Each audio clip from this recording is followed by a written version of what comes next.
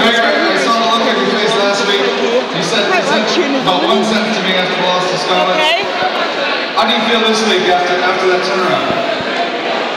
Well, I feel really proud of the, the effort the players put in. We, we didn't turn up last week. It's probably the first time this season we haven't. This week we trained so well. We knew we were going to get a performance out of them of, of effort and bodies on the line. But to also see in the attacking skills, well, some of the rugby in the first half was outstanding. And I've got to highlight a few players that stood out tonight. Uh, Josh Strauss had a, had a difficult week. He was great. A difficult week in the family bereavement back home in South Africa what a performance he put in.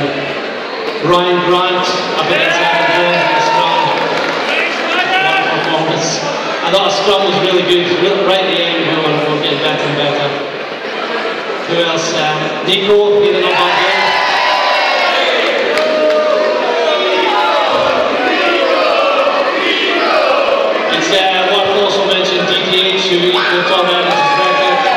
Champion.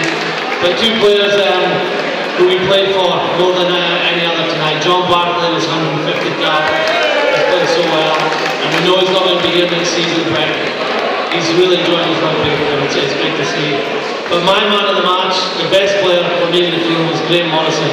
I want to give him. For someone who's had injuries most of this season, no play for the last four or five weeks, but I've been training really well to take his opportunity. It was really good. So I was proud of them all, but especially those guys.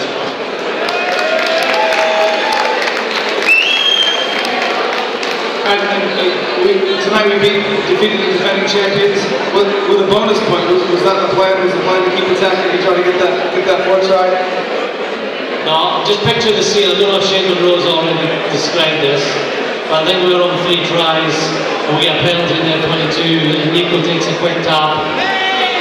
Shade Munro, are beside me going, no, no, no, yes! and Nico goes over and scores. Look, some of the big part of last week that I was disappointed with was we didn't take the initiative. When there was opportunities to attack, we kicked, or we went through with a pass. And we know this is this team will take the space. Um, we're aggressive in defence, we will take on the, the, the opposition with ball in hand. We did that so well tonight. I really thought a tight game. Ospreys have a fantastic defensive record. They'd only lost one game since round three.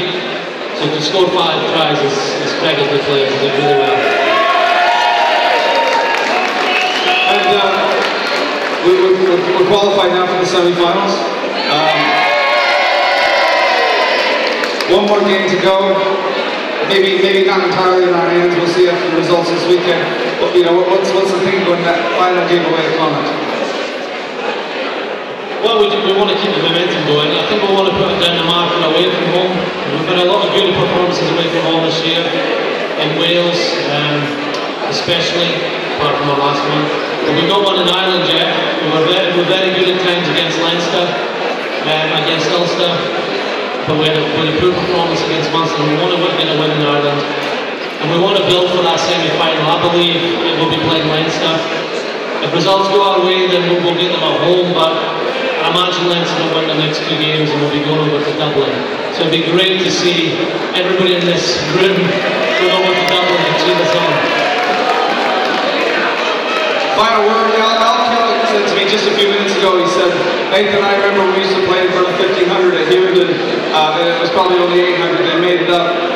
What was it like? with the- What was it like with the crowd tonight with almost 7,000 people behind the players? Well, I'll just ask this question on, on TV, saying how, how we managing to, to get bonus point tries at home.